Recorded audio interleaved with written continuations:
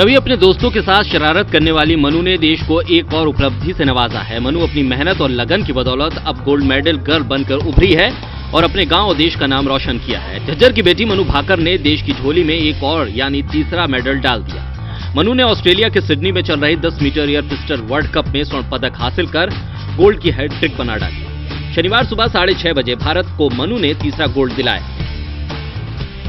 बहुत खुशी की बात है। आज, जैसे ही सुबह मनु भाकर ने गोल्ड मेडल जीता खुशियों की लहर दौड़ गई। आ, सारा यूनिवर्सल स्कूल गोरिया का सारे के सारे स्टाफ ने बधाइयाँ दी हैं और गाँव वाले गोरिया गाँव ने और आसपास के गाँव के लोगों ने बहुत ही शुभकामनाएँ भेजी हैं बधाई दी है। और कितनी अच्छी बात है कि मनु भाकर का एक महीने के अंदर तीसरा वर्ल्ड कप का गोल्ड मेडल है हैट्रिक मनु ने बनाई है। ऑस्ट्रेलिया में 19 मार्च से 29 मार्च तक चल रही जूनियर वर्ल्ड कप पिस्टल प्रतियोगिता में मनु ने कीर्तिमान हासिल किया। मनु की इस उपलब्धि पर परिवार सहित गाँव में खुशी का माहौल है। मनु ने मात्र 16 साल की उम्र में भारत को स्वर्ण पदक दिला। इतना ही नहीं, पिछले एक महीने के अंतराल में ही मनु ने भारत को तीन स्वर्ण पदक दिला।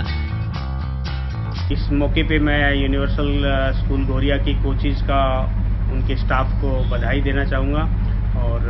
सबको खुशी इंडिया को प्राउड किया मनु ने। और हमेशा यही कहती है कि हमारा ट्रिकलर जो हमारा तिरंगा झंडा हमेशा ऊपर लहराता रहे उसी में उसको खुशी मिलती है। फ़िलहाल मनु का 28 मार्च को भी एक मैच होना है। इसके बाद मनु कॉमनवेल्थ गेम में पार्टिसिपेट करे। वहीं झज्जर की बेटी की इस उपलब्धि पर जिला प्रशासन ने भी शुभकामनाएँ दी। मनु का अभी सिडनी में अगला प्रोग्राम जो मिक्स इवेंट का है वो 27 का है और उसके बाद में 28 तारीख को 25 मीटर स्पोर्ट्स पिस्टल का इवेंट है और उसके बाद वो कॉमनवेल्थ खेल के आएगी। जैसे ही मनु गाँव में आएगी 16 अप्रैल को, उसका शानदार तरीके से स्वागत किया जाएगा। इससे पहले भी मैक्सिको में चल रही प्रतियोगिता में भी मनु ने भारत को सिंगल और डबल में पिस्टल प्रतियोगिता में।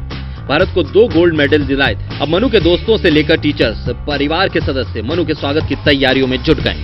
Yogendra Saini total news